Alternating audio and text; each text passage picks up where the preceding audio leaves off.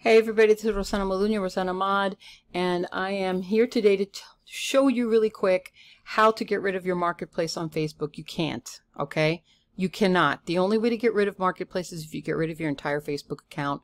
Please don't listen to anything you see on YouTube.